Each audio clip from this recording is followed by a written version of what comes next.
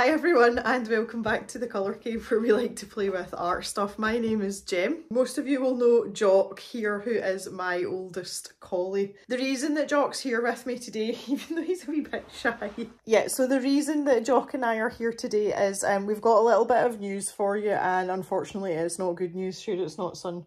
it's not good news at all. Jock has ruptured Jock has ruptured his cruciate ligament in his knee, so it's in his um, hind left leg. It's broken, isn't it, son? And unfortunately, he's going to have to go for some pretty serious surgery. It's okay, you can go lie down. he wants to go back to bed. Um, yeah, so basically what that means is Jock's going to have to go for some pretty serious surgery and um, the recovery period's quite long, it's 12 to 16 weeks. I've not had a great start to this year and I just feel as if I can't catch a breath. Jock is going to require a lot of extra looking after post-surgery and his surgery is next Tuesday, which is the 11th of April. And um, I cannot commit to two YouTube videos a week plus all the other bits and pieces that we're doing. So for the foreseeable future, we will be going down to one video and it's just so that I have the extra time to take care of Jock because he's going to have physiotherapy and things to go to as well um, just because of his age and the fact that he's got the complication of arthritis in some of his other joints although it's not severe it's there.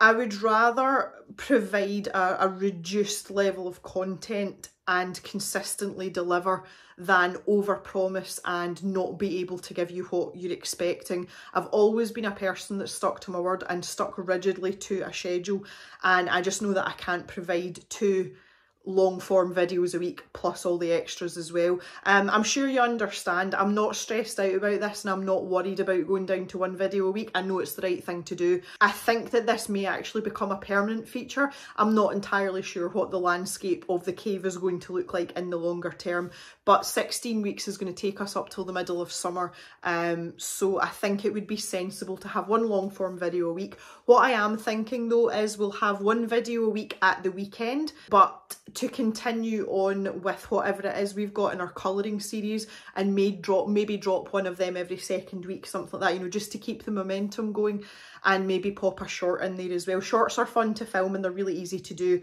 Uh, so that's kind of my thought process. I just wanted to let you know there will be a video. I know that there was a video out yesterday, but that was actually last Sunday's video because of internet, hillbilly, rural internet. So there will be a video this coming Sunday as well and we will keep to that weekend schedule. I might move it to Saturday uh, just because viewing figures tend to be better on a Saturday. Um, but I hope you will all cross your fingers for us next week for Jock going into surgery. The surgery itself has a 95% success rate.